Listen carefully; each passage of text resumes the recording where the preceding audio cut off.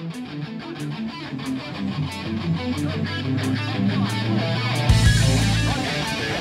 go.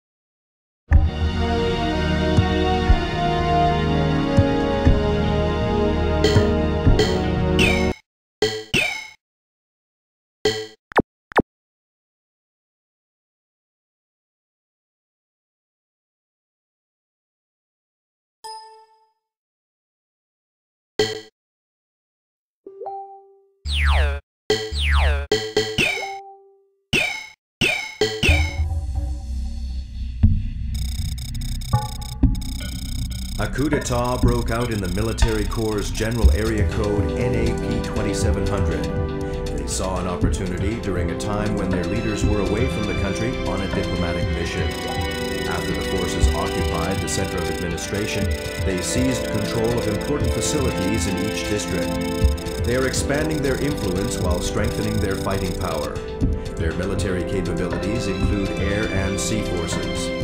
It has also been confirmed that they are in possession of extra powerful cruise missiles. To respond to the rebel forces, the military corps headquarters made a decision to use the Special Tactical Fighter Squadron Scarface, which consists of you, my fellow pilots. We want you to go on this mission and suppress the coup d'etat immediately. You will receive all-out support from our military corps, full information regarding the rebels, full cooperation through our intelligence division, and military supplies. The situation is tense, and there is no time to waste. Take on this mission immediately. That is all.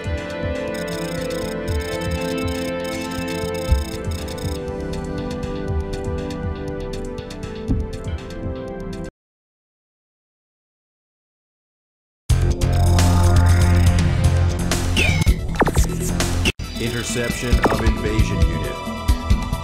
It's a rush sortie mission. We have received information that an enemy invasion unit is approaching our front base. It is a small unit with bombers as its main force. Take off immediately and shoot them down. Target B-52 bomber unit. Good luck.